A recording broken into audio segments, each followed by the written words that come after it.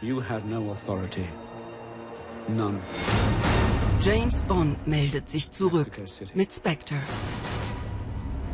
What were you doing there?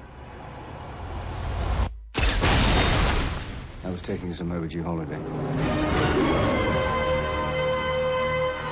So what's going on, James? They say you're finished. What do you think? I think you're just getting started. Neue Mission für den Geheimagenten ihrer Majestät und königliches Publikum beim Start des 24. Bond-Films in London.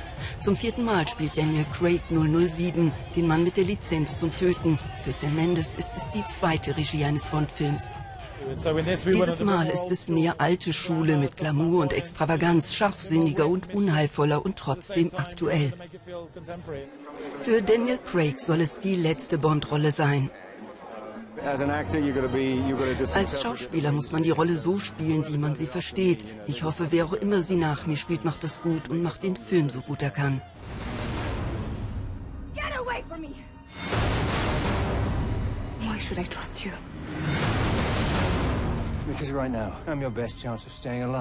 Bonds weibliche Geheimwaffen kommen diesmal mit Lia Seydoux und Monica Bellucci aus sehr unterschiedlichen Generationen.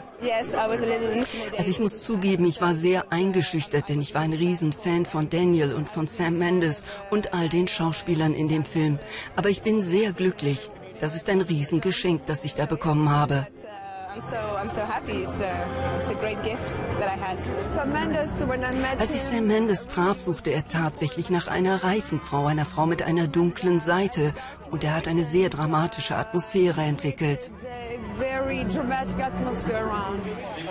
Christopher Waltz spielt den Schurken, der Bond herausfordert.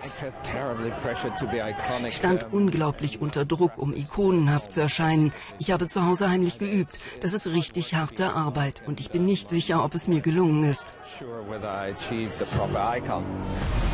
Spectre, James Bonds Suche nach der dunklen Geheimorganisation, startet jetzt in den Kinos. the author of all your pain.